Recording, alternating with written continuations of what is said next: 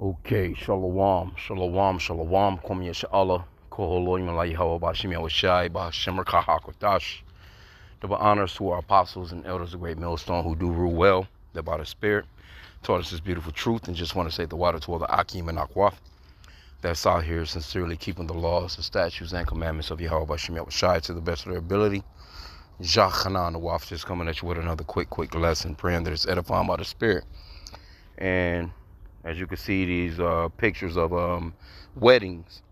And the reason why I brought this up, I was just at the store a little while ago, and I'm kicking it with, uh, you know, it was a few people in the store that just, you know, we was having this conversation, and a young lady that you know work in the store, she's actually a Palestinian, or at least that's what she says. You know what I'm saying? She's the first generation of American Palestinian, and she's, you know, she acts so much like a, a nigga to the point where you know you wouldn't really wouldn't believe it, but she do look like him, you know. But we don't go by looks, you know, because um, if you are from the seed line of Abraham, Isaac, and Jacob, you are an Israelite, no matter what you look like. Now her family is from that region; they speak that you know the language.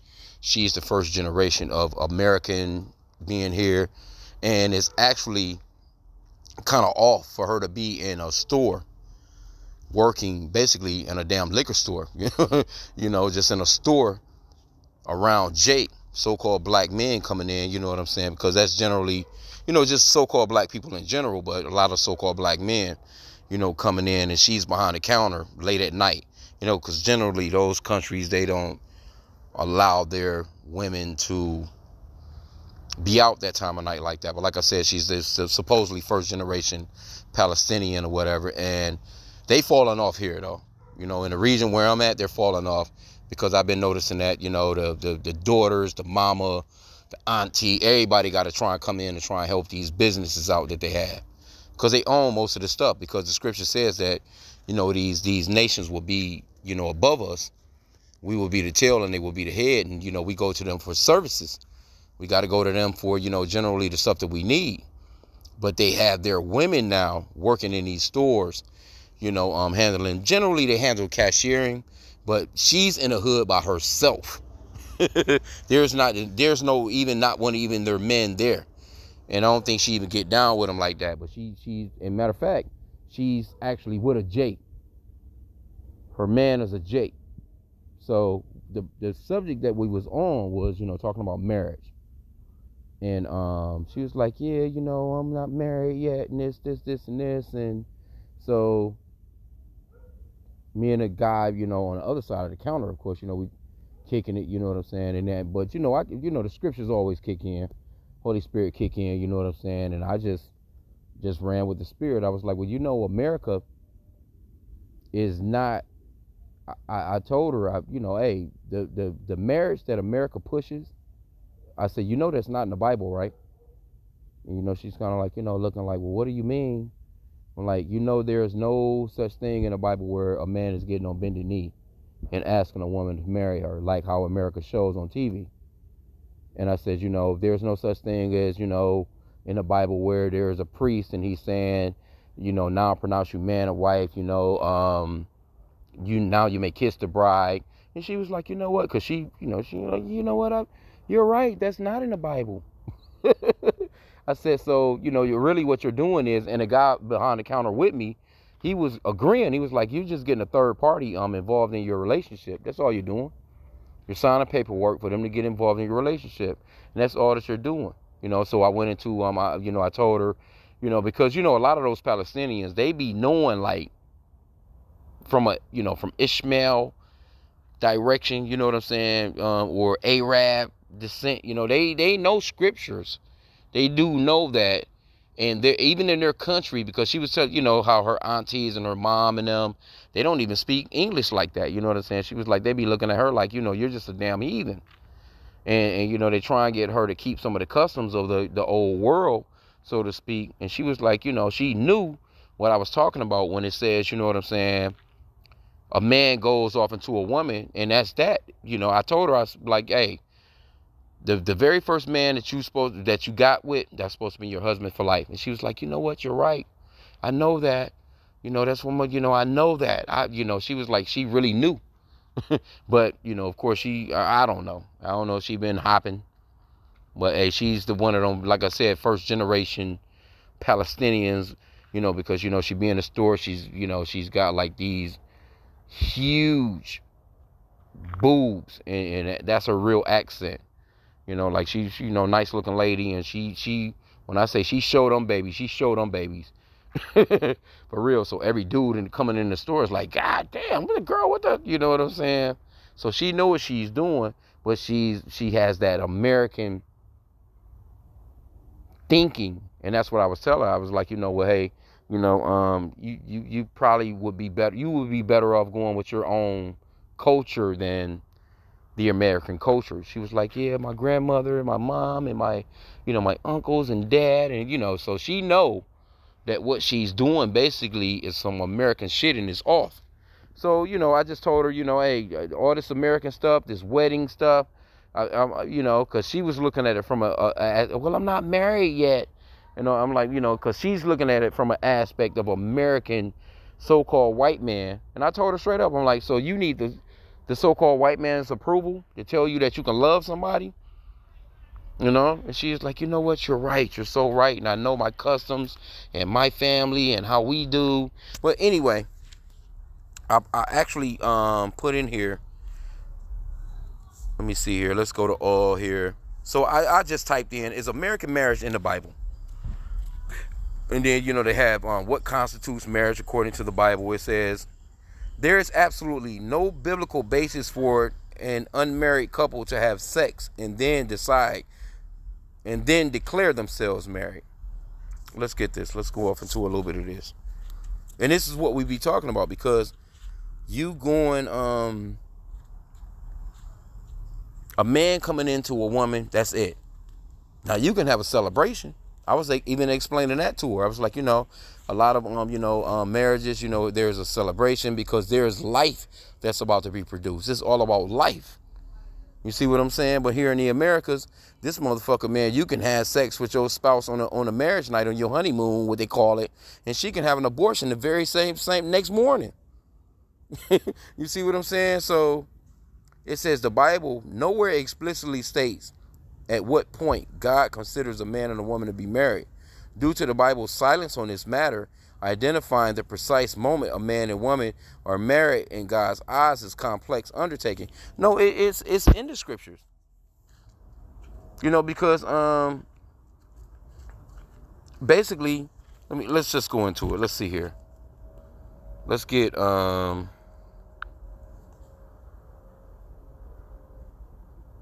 because sex constitutes marriage, man. It's in there. It's just the the American shit. No, it's not. For real. It's not in there.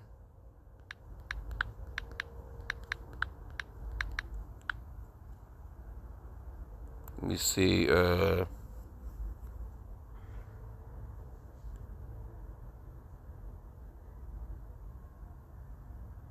yeah, hey, well, this is going off into our forefather Judah and um Tamar.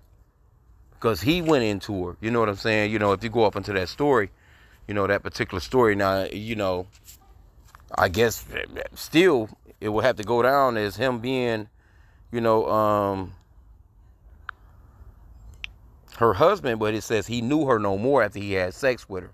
He was probably like, oh shit, you know what I'm saying? I shouldn't have done what I, you know.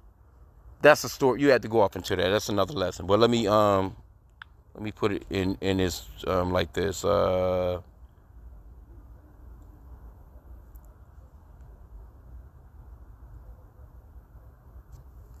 Hmm.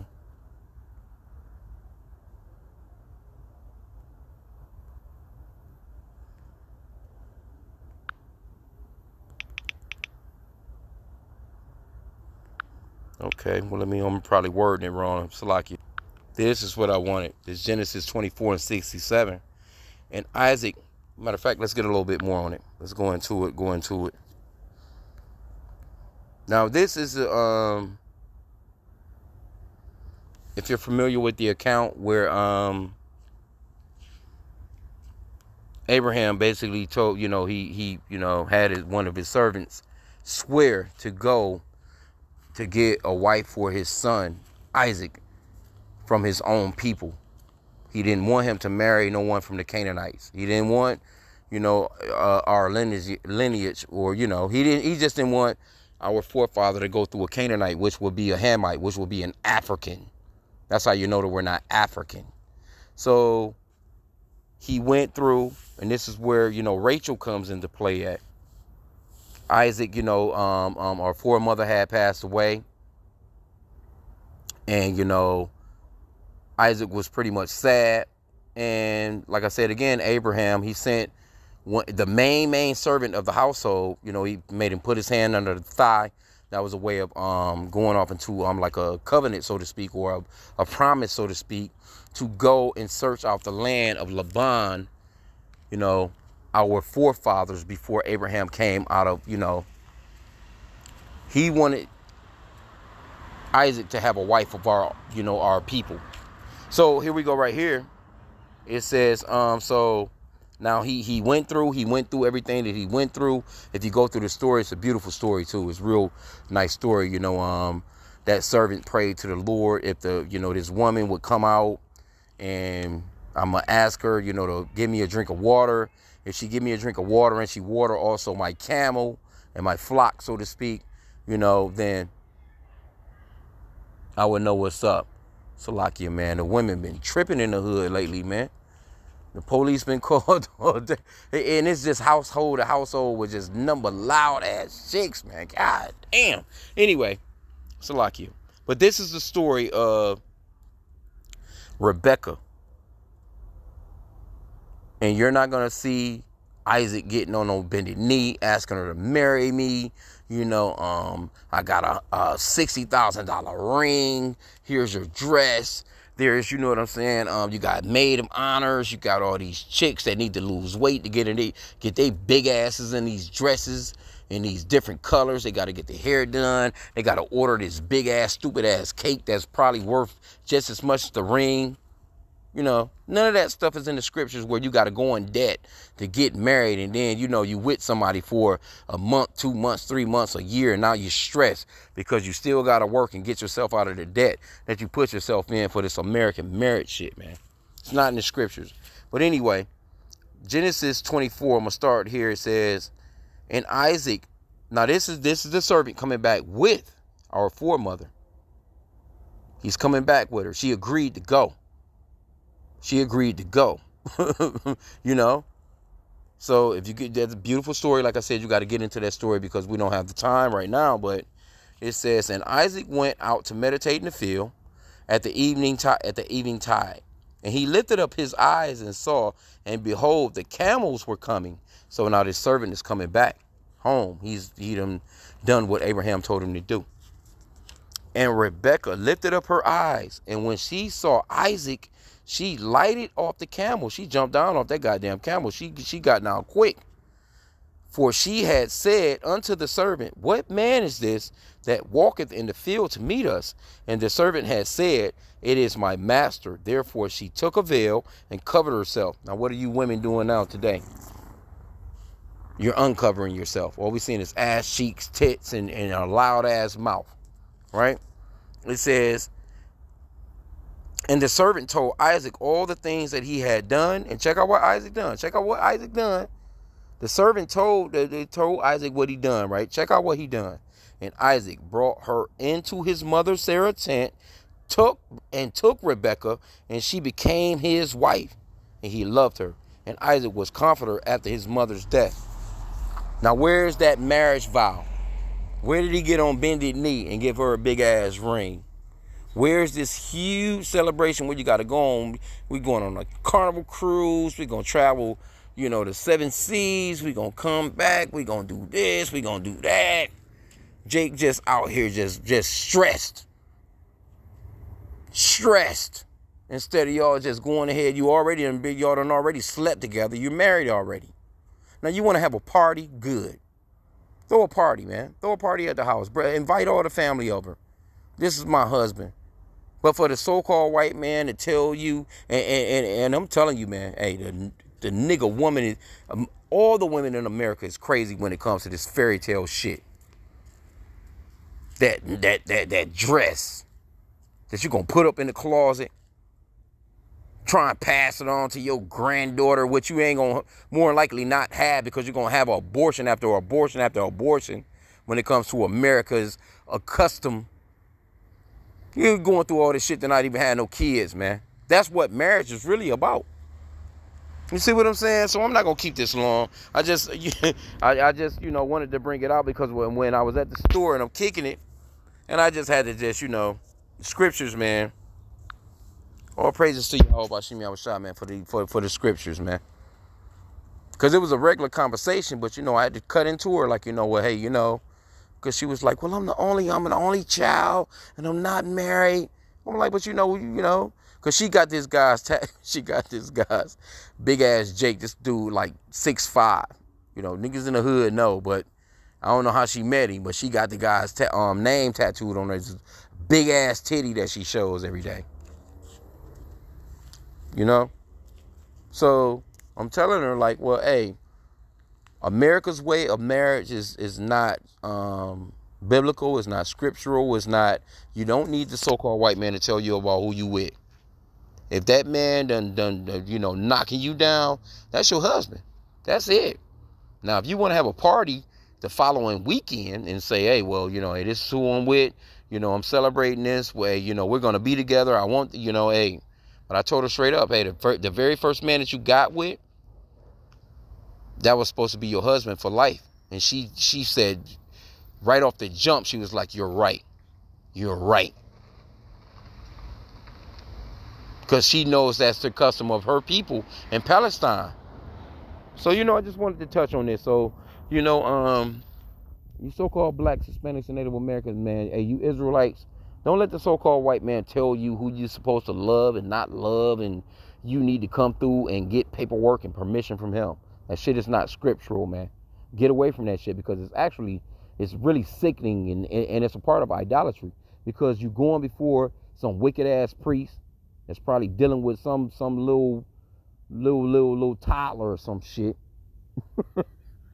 He's you know crossing his chest and head with the cross symbol, talking about now I bless you and now you're pronounce you, and even these wicked ass TD Jakes and Creflo Dollars and all these Christian pastors, man, they don't know. Um, um, because uh, I was just looking at a video yesterday. Uh, matter of fact, that's that's a spirit because the brothers was going off into um, what's this guy um Tazaryach I think is his name Captain Tazaryach from um ISUPK um with this guy on there talking about some damn marriage and and idolatry I mean no not um, idolatry but um adultery you looking at another woman hey look man if that woman is not married and she ain't with nobody you can check her out and you can run up on her and be like yo what up adultery is if you're dealing with another man's wife if she got a man and you dealing with her, that's adultery. But if she's single and you got a wife, you got a wife, but you but you looking you checking out another woman that's single, that's not idolatry, man. I mean, I keep saying idolatry. Still, it goes with that too, Salakia. But that's um um that's not adultery. You can get with that woman. Now, is it wise to do it in the Americas? Is it wise to do it in the so-called white man system? No, it's not. But you know what? Hey, people are starting to abandon the so-called white man's ways, man because he don't want you to produce. He don't want you to reproduce. He don't want you with no no um different women because he knows that if you get with four or five women, you're gonna be able to impregnate them all at one time. While he's dealing with his one white woman, so-called white woman, she wants to get you know her her you know her PhD and all this other shit. She's having her very first child at 42, 43. This so-called white man know if you got um five to six 20 year olds, 21, 22 year olds, and you knocking them all down, that's five babies. Within nine months, within the next year, you done pumped out 10, 50 men. Shit, within 10 years, you can have 30 kids or so. And he knows that. He wants to keep you on a low level. He doesn't want you to reproduce because that's what the Lord told us to do. He told us to be fruitful and to multiply. And if you live in by the so-called white man system and his way of doing things, you're not going to do that. You're going to diminish. This man is is pushing you to the abortion center. He's pushing you to Planned Parenthood. He's not saying, you know, now he'll have you put your hand on the Bible and swear to tell the truth, the whole truth, and nothing but the truth. We're a Christian nation. But when it comes to that be fruitful and multiply part, uh, no, no, no, uh, the earth is overpopulated. We have to. You see, um, Kamala, um, Kamala Harris, she just made that gap the other day. You know, where they got her out here, where she talking about um, uh, um, depopulating you Negroes, and y'all don't even understand what's going on, man. So, just wanted to touch on this for a hot second. I didn't want to keep it long. Kind of went a little longer than, you know. I mean, it's the spirit, though, man. Hey, look, the so-called white man and his marriage system, that's some bullshit. And I'm gonna leave it at that. With that, Kwame Yashala.